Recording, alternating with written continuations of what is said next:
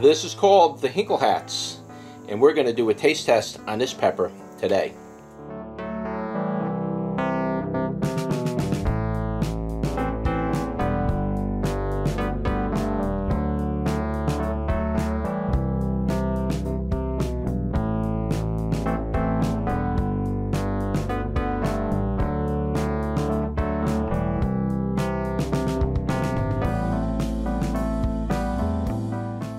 Alright, so let's take a closer look at the Hinkelhatz pepper. This is an awesome pepper actually. I like this pepper a lot. I can't wait to get some of these dried out. Be my first year drying them out, see what they taste like. But I did taste test this last year and man, this thing has got some kind of crazy heat on it. It's very, very hot for this pepper. Totally threw me off. I thought it would be warm, but not like just insane heat from what I remember, this thing was really, really hot for a pepper. So, but I like this pepper a lot, and I do grow it not just for the nostalgia part, but I do grow because I like to eat them, cut them up and put them in salsa or salad, or fry them up, or mix them with your meats and stuff like that.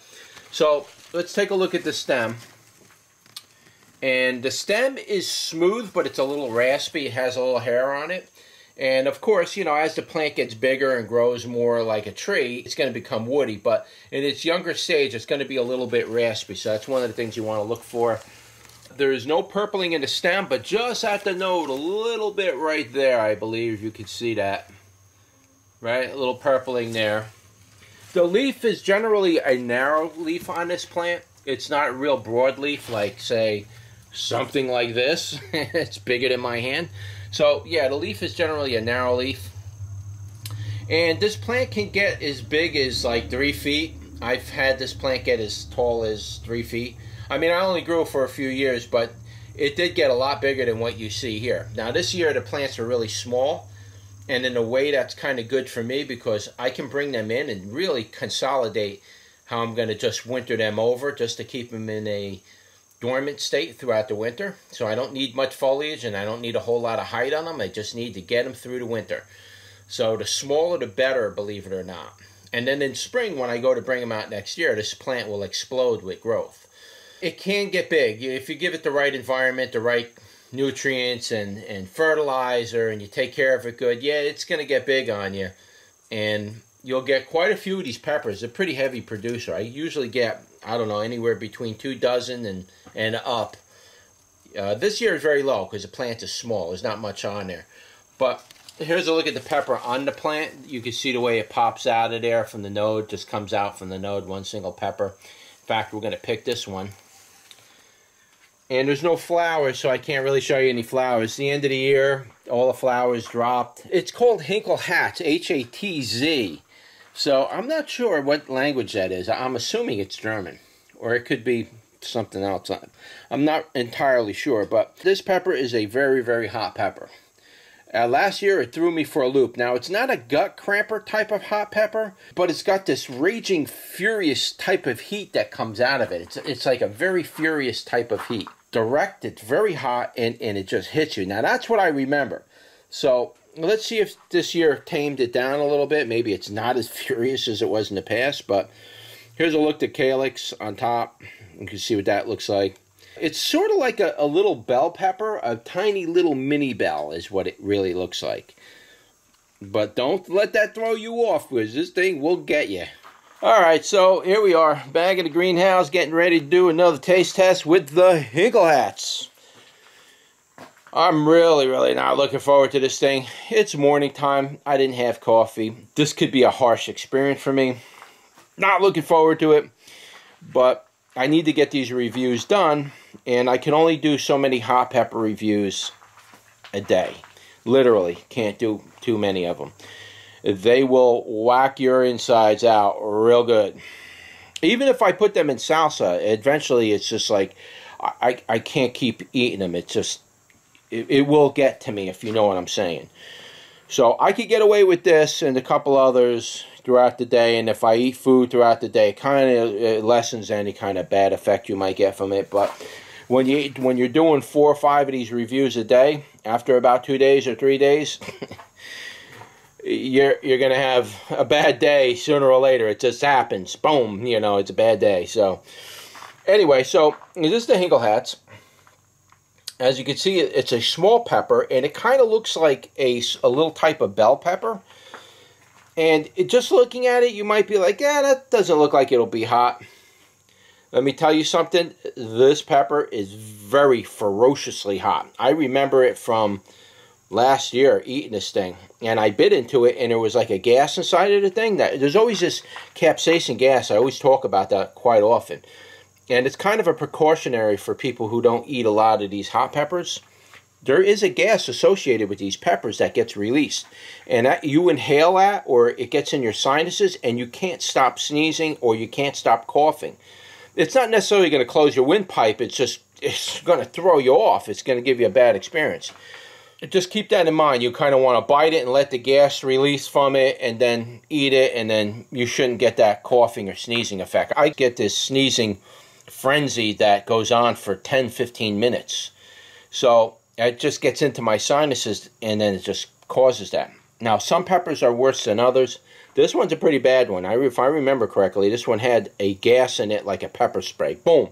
Anyway, that's the Hinkelhatz, so let's give it a bite.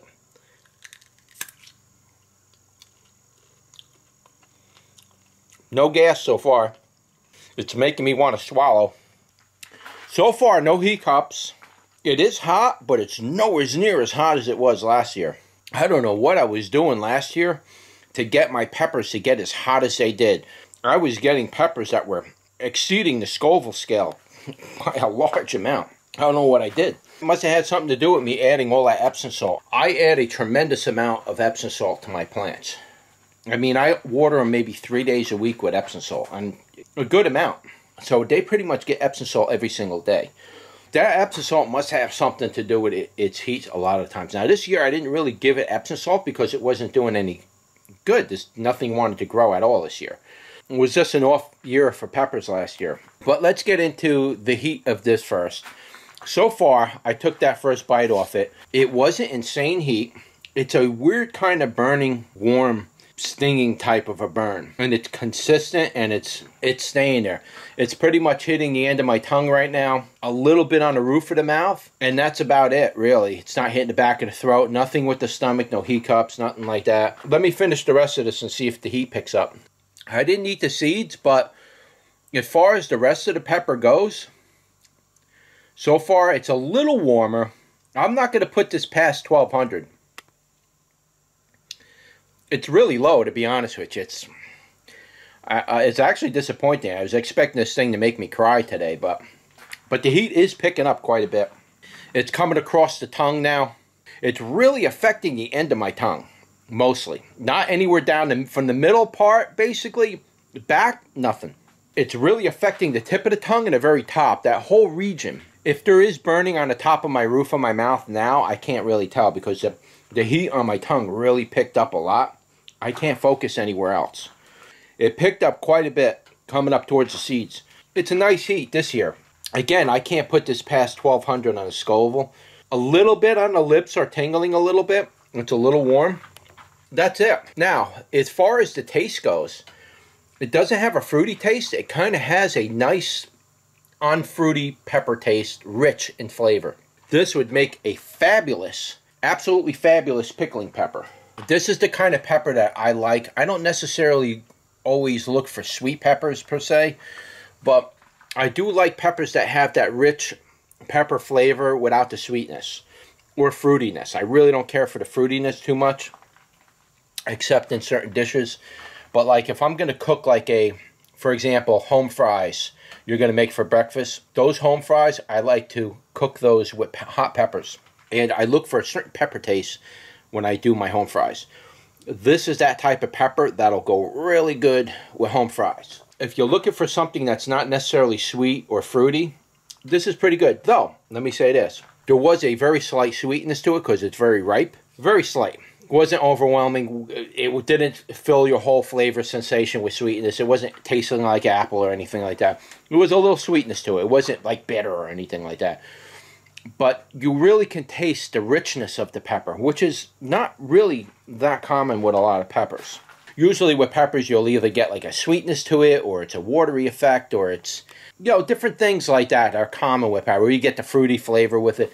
Mm, this doesn't have any fruity flavor. It was a nice, rich flavor. The only thing I could say is that it's a good meat pepper. It definitely go good with your meats. Go really good with sausages and stuff like that. And it's probably superb for pickling if you're going to pickle your peppers. Definitely superb for that. It's not the kind of pepper you're going to stuff and grill. And you could throw these on a grill and soften them up. But you could put them in salads and things like that. It's a pretty good all-around hot pepper. It's got again, it's got a nice flavor. Now, the heat may vary on these. I could probably pick another one off of there, bite into it, and I might be screaming from it. So the heat does vary, obviously, with peppers, and this one can range anywhere from, like I just told you, 1200 to 20,000. I mean, the, the range can go as probably as high as that. What I can say is that it's a nice pepper. I grow them every year. I will be growing these every year, probably for the rest of my life. I do like the taste of this pepper a lot. Eventually, what will happen with me, you see me growing all these varieties. Eventually, what happens when the nostalgia wears off for me, like I've grown it for years, and it's like I got plenty of seed for it. I could always grow it again. Eventually, I'm going to end up stopping growing certain varieties because I'm not really eating them. I'm just collecting seeds, and the only reason I'm growing them is for the look and to collect the seeds and maybe sell the seeds. That's really it. Like I say, this pepper happened to be around 1200 Scovilles. Hit the end of the tongue really. It didn't really do too much else. And that's it, you know. That's all I can say. That's your pepper review for the Hinkelhatz pepper. I will leave links in the description below for Amazon. In the future, I will be offering seeds on a website. Eventually, one day I'll start a website and then I can offer you a lot of these different varieties of seeds. And you may even be interested in buying some of the, the hybrids that come out from year to year. So I can just collect the pepper and send you the whole pepper And rather than taking the seeds out. You get the whole pepper and you grow it, and whatever comes out of it, sort of like a mystery bag. Good luck type thing. But I'll make that stuff available in the future. It's right now, I'm just, I, don't have time for it. But that's it. That's your review for the Hinkelhatz. If you like this video, don't forget to like, share, and subscribe. And I will see you on the next one. Take care.